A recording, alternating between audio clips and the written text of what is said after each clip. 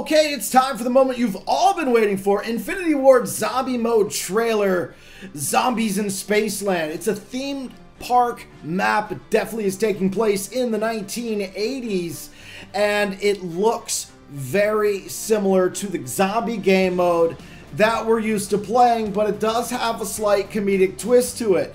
I think that the setting is absolutely uh, hilarious and a little bit ironic, seeing how uh, we've got Infinite Warfare, which is taking place in outer space. And then we have this theme park called Spaceland. So I think that's pretty clever. It's on the ground, but uh, it's also got a space theme to it. Very good. So unfortunately, I cannot play this trailer for you guys with the audio because it does contain copyright music.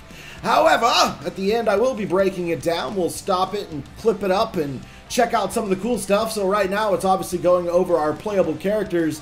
And one cool thing about that is they all seem to be the typical characters that you would see like in a high school setting. You got the jock, you got the preppy girl, you've got the nerd, and you got the uh, dude in a full tracksuit, like hip hop guy from the 1980s. So that's pretty cool. We get a look at a few weapons here. Uh, we get a look at um, just some, some very strange stuff. That zombies taking off into outer space. There it is, zombies in Spaceland. And then, so there's a boss zombie, it looks like, as well. So now what I'm going to do is we're going to go over some of the key points of this video and see what this take on zombies has to offer. And that's David Hasselhoff right there. The freaking Hoff! So one of the first things that I noticed that I really wanted to point out, and it's a pretty small thing, but I think it's important. We see our characters paying for debris to remove it. So I was a little worried that zombies might go off the rails a little bit and they're going to try something different at Infinity Ward, but it looks like the same basic structure for getting around the map is in place. We're going to buy barriers to get them out of the way to advance through the map. That is a good sign.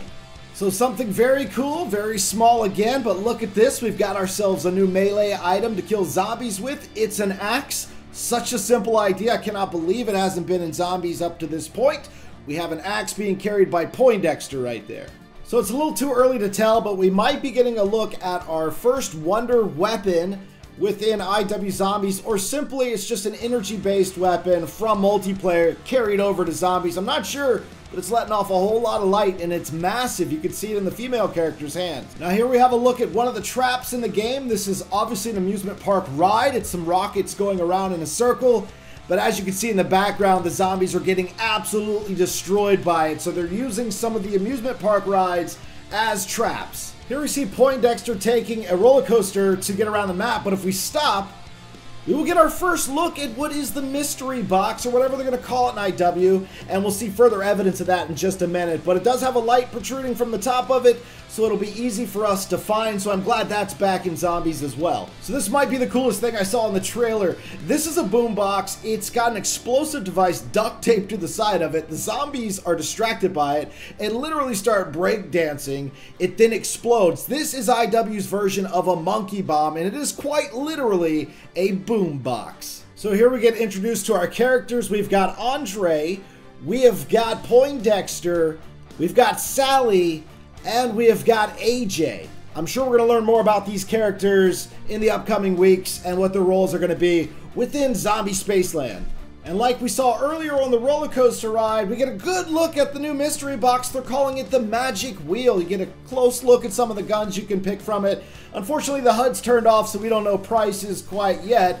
But it's good that we have this random way to get weapons. I think that is a very, very good thing in zombies. So another thing that I'm very glad to see returning in Infinity Ward's version of zombies. I hate clowns, but we have zombie clowns, God damn it! Now I wanted to stop this image right here. If we look on the right hand side of the screen, we definitely see the word travel above what looks to be like a teleporter, and I also think we saw earlier in the trailer uh, our characters coming out of this. So it looks like we'll have teleportation devices throughout the map, uh, which is always a good thing. So here we have a look at Andre using Brass Knuckles, another melee confirmed, and then Sally using some sort of mega push hand melee to absolutely destroy the zombie. And we get our first look at a power drop, and it looks to be some sort of zombie points. We get to check out another new trap. This one looks like it is attracting the zombies. They start breakdancing on the floor, and then the damn disco ball in the sky starts shooting down beams of lasers all over the zombies and killing them. It's a pretty cool trap. Another potential wonder weapon, I think this one really might be one because it's freezing the zombies, so it's got some very special properties to it. So it's massive and it looks pretty epic. And for some reason, this is the thing. I don't know what's happening here. It looks painful. Rest in peace, zombie. And that is pretty much it. Now, guys, I have no idea what I was looking for when it came to Perk-a-Cola machines. So maybe it's something that we just don't know what it looks like. Or maybe you guys saw one and you'll let me know that in the comment section. What do you guys think of this? I think it's epic looking. I absolutely love the 80s theme. I am extremely excited about this. It is okay to disagree down in the comment section. Try to be respectful of one another's opinion. I'm also going to put a map of the map on the screen. You guys can pause that, check out the points of interest on the upcoming Zombies and Spaceland. Guys, if you enjoyed this in-depth breakdown, please do drop a like on the video. And as always, it has been your boy Laggin24, and I will see you uh, next time.